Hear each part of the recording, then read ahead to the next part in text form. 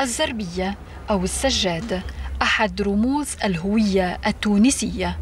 وتتنوع هذه المفروشات الأصيلة في البلاد فنجد بالإضافة إلى الزربية المرقوم أو الكليم. زربية زربية تونسية معناها في partout في العالم الكل.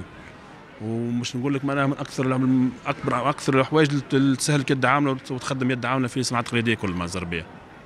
لكن تخدم الزربيه مش بتخدم واحد يخدم أبوك أمك خوك عمك تخدم حومه كامله تخدم معناها عارش يخدم زربية ما يخدمش واحد زربية وحده معاه وصناعة السجاد أحد الحرف القديمة المنتشرة في كل مناطق البلاد وما زالت تتوارثها الأجيال. ما عندها 20 سنة تخدم. من اللي كانت صغيرة عمرها 14 سنة مشيت تتعلم في الارتيزانا وبعد خرجت عملت مشروع واحد.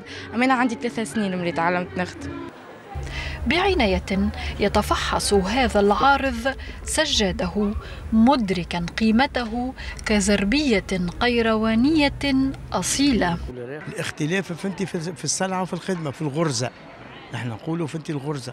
الغرزة الحرير الحرير فهمتي 50 على 50 تمام فيها وال 40 40 فهمتي معناها آه نحن نقولوا 160 ألف عقدة في المتر مربع ال 40 40 و 30 30 فهمت 90 ألف عقدة في المتر مربع تصور في المتر مربع 90 ألف عقدة. الغرزة نتاعها هذيك.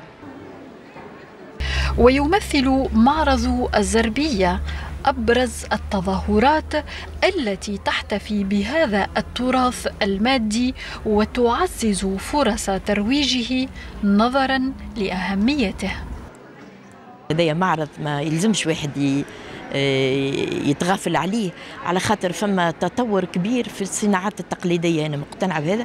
في السنوات الأخيرة وصديقتي اللي هي جامعية آه، كنا نحكيو على الموضوع ال ال وقلنا السبب في التطور هذا هي قالت السبب في التطور هذا وجود مدارس مختصة في ال design في في الصناعات التقليدية في الأشياء هذه اللي عندها أثر مباشر على آه، الصناعة التقليدية.